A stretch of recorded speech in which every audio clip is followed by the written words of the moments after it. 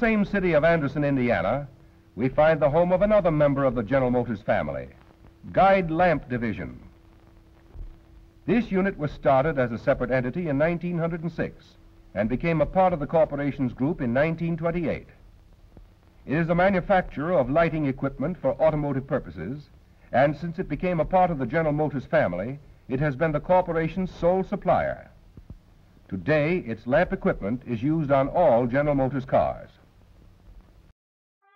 The video we have is uh, open house that they had at Guide Lamp two months before Pearl Harbor. This was two months before the war started. And uh, the people are coming in for a nice day. And uh, they had over 7,000 people came to the open house that they had out there at that time. You consider there was less than 3,000 people working at the, the plant. That was a, pretty good turnout for it. The uh, most of these films were shot in in the uh, AVAX building or the old Jenny Motor Company building. The automobiles that are in the background here are 1941 the last automobiles that they made until after the war was over.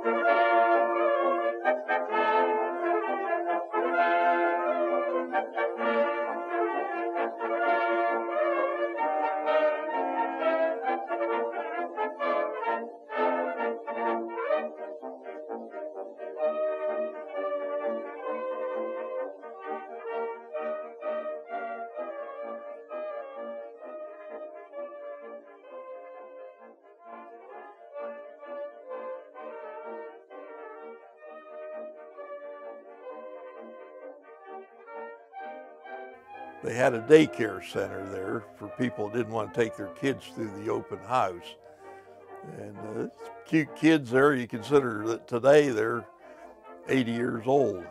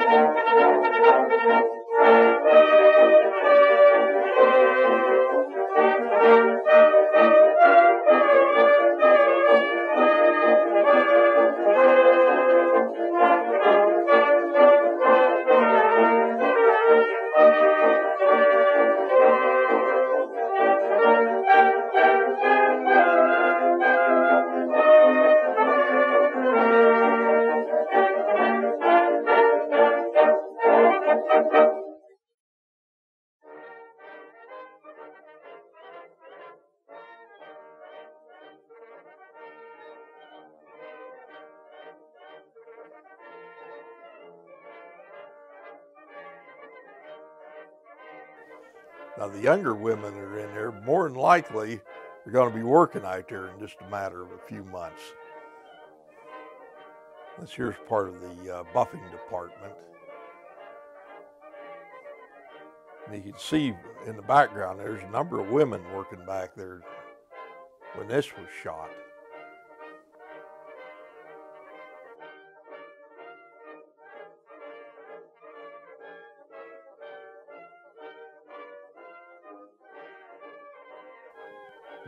Coming through here, and uh, they don't know it, but in two months their world's going to change. They're all going to be more than likely drafted, and those girls right there will probably be in there working on a uh, on a line somewhere.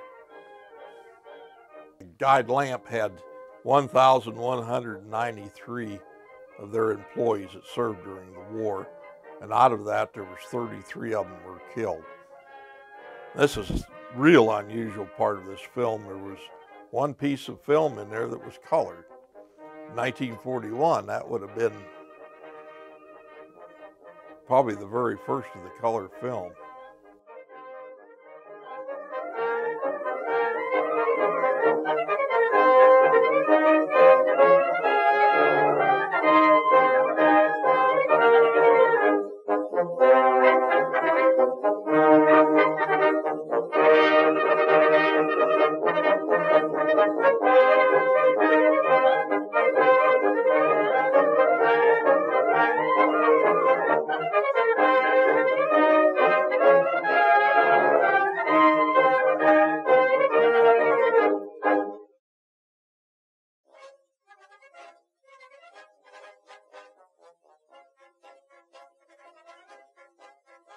This is 16 millimeter, which was the home movies at that time.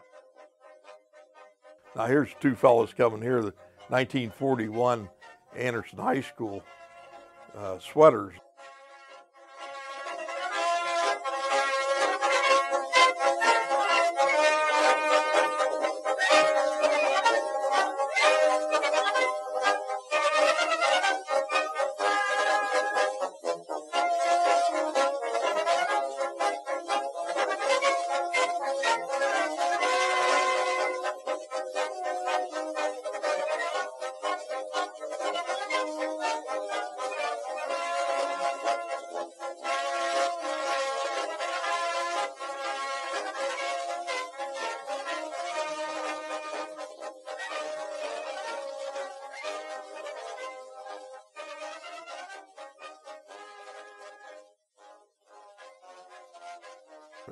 Pearl Harbor hit, completely stopped production in there.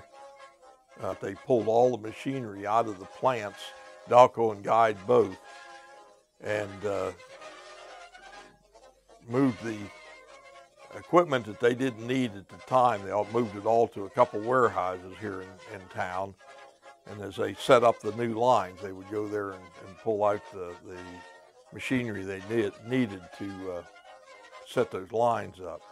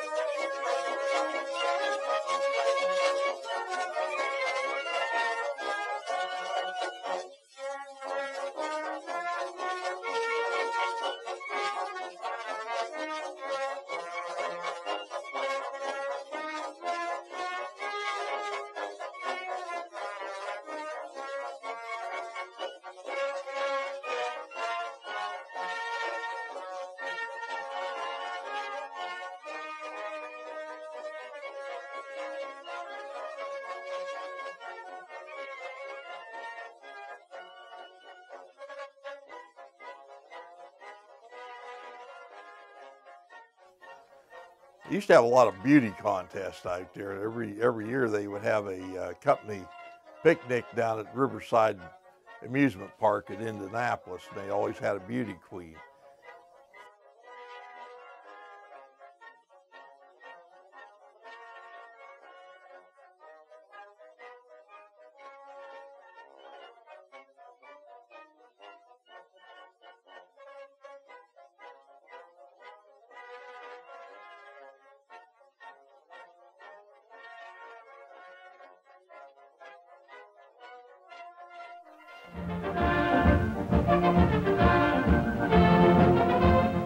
America goes to war. Men of the Army, Navy, and Marines reinforce the battlefronts on six continents to save the homes and ideals of free men from Axis domination.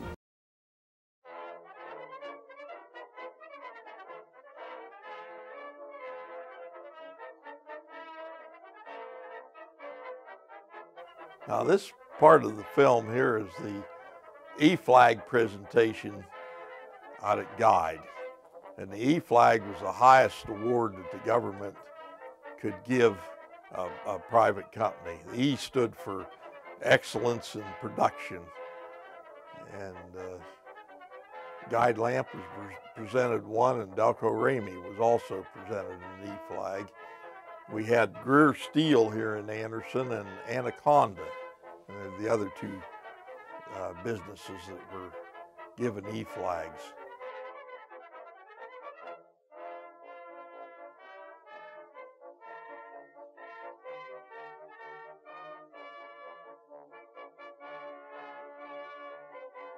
Town people that come out to see the flag presented, that and the, the uh, people that worked in the plant.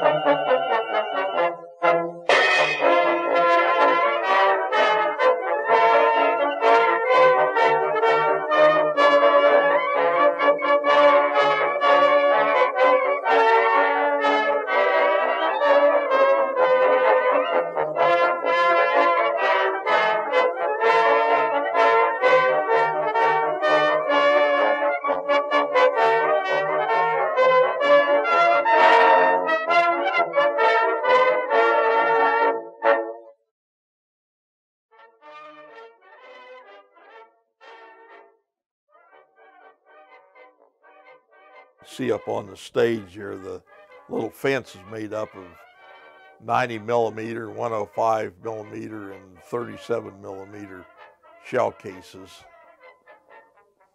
And those are 50 caliber machine guns. I think there's like three of them along there. This, this is the E flag. And the fellow that was presented to there is Governor Schricker. And uh, every six months after the flag was presented to a company, they reevaluated them. If they passed everything, they uh, gave them a star for on their flag. Guide Lamp ended up with four stars on theirs. They flew the E flags on kind of special occasions.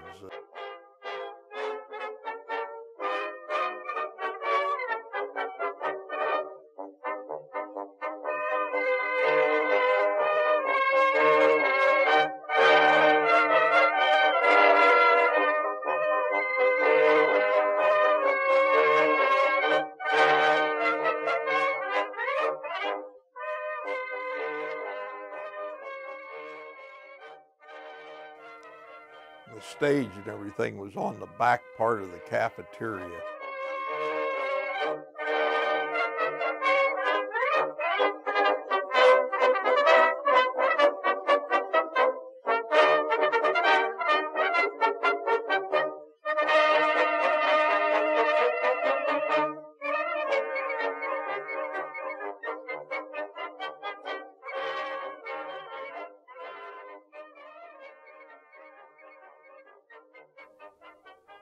He's getting ready, he's going to pin something on this fellow's shirt here. And what he's pinning on his shirt's an E, e pin. Everybody that worked out there that uh, was working there when they were presented the flag got one of these little pins.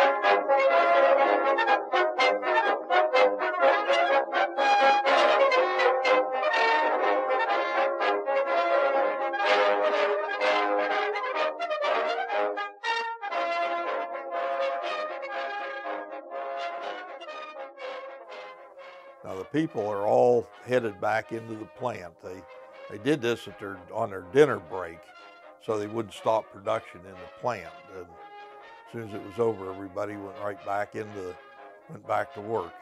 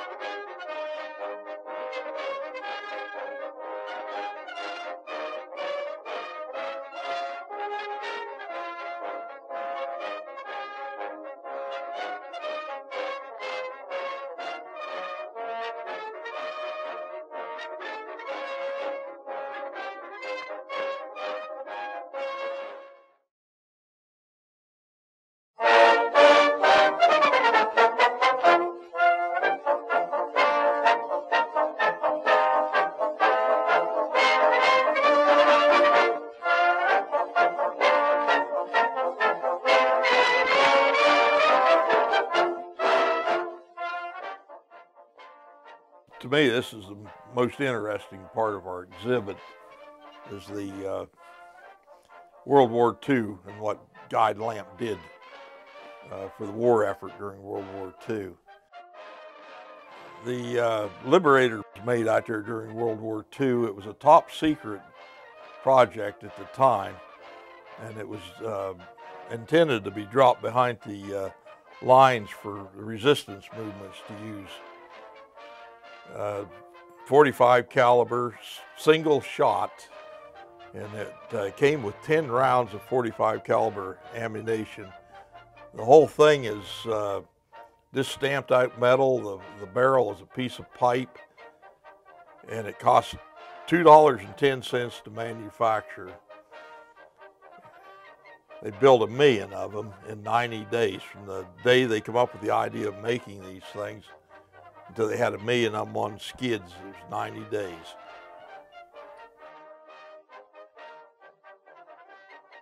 The other gun down here is a M3 submachine gun, and it was built to take the place of the Thompson submachine gun. The Thompson cost $250 a piece to manufacture. The M3s were $22 a piece, and by the end of the war, they had them down to $15 a piece. They fired a uh, 45 caliber round, just like the Liberator pistol did. The barrel was rifled, and there was only two machine parts in it, the barrel and a part of the firing mechanism on the inside. The rest of it was all stamped, stamped metal. They were meant for uh, mainly when they got into the uh, buildings and stuff over there in Europe where they were fighting from room to room. They probably didn't have a range of over 20 or 30 foot, you know.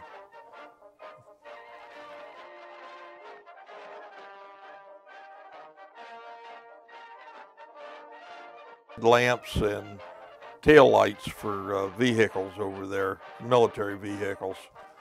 We have a few examples that are really hard to find, and uh, they made the special cover that went on the tail lights so they could run convoys at night, and if an airplane came over, wouldn't wouldn't be able to see their light.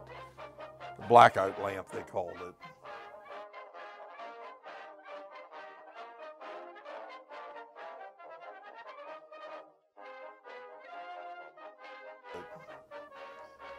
The other thing they built out there was uh, the barrels for 50 caliber machine guns. They built a million and a half of those. They're still using some of these. I was in Vietnam and they, uh, we had 50 calibers over there that used the same barrel.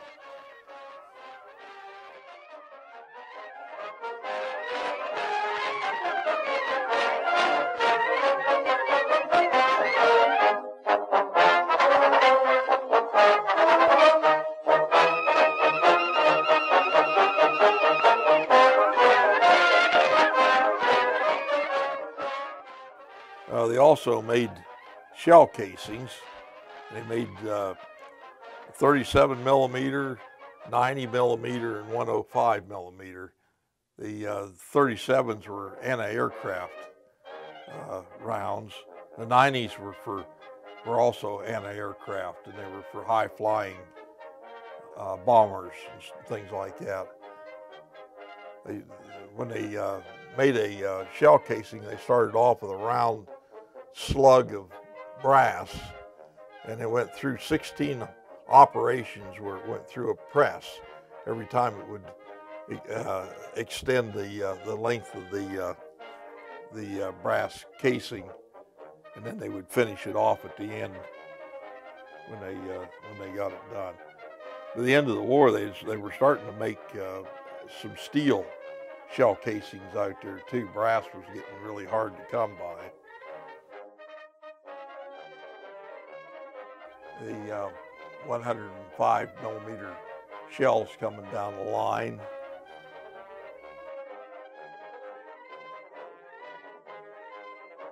A lot of times fellows that worked out there when they would be home on leave or something, they would come out and visit. There's a fellow here who apparently was wounded. He's on crutches there. The ladies all gathered around him there. He's quite the hero there. That's a uh, soldier. He's probably coming back. He has gathered up um, Japanese currency and they've taped them together. It's showing off his war souvenir is what he's doing. This is plant security and this is called a Minuteman flag. and they were awarded Minuteman flags out there for uh, selling bonds. Uh, this is a uh, grouping of ladies uh, working on a, a, table out there. Uh, they're working on the M3 submachine guns. And believe it or not, this lady right here in the middle uh, was in here. And she was telling me about her job. She said her job was to take a file and file around the sights of these M3s. There was always a burr there, and her job was to file that off. And she was looking around and looked up there. She said, "Well, there I am." And she she named off the other ladies that are on the line there with her. I thought that was that was uh, that was really something. She hired in out there during the war, right out of high school. Uh, that there is a set of headlamps that went on a on a bumper. Uh, it was in our military uh, photographs, and I'm assuming those are those went on a be something like a staff car or something like that. This is boxes of ammunition, and every time they would build an M3 submachine gun, they would fire a whole whole round of uh, a whole magazine of ammunition through it. They had a firing range underneath the cafeteria over there. And uh, when they finally tore the plants down, when they were tearing them down, they got into an area there that was uh, these big chunks of lead. And it's just built up from all the uh, uh, all the firing that they did over the years there.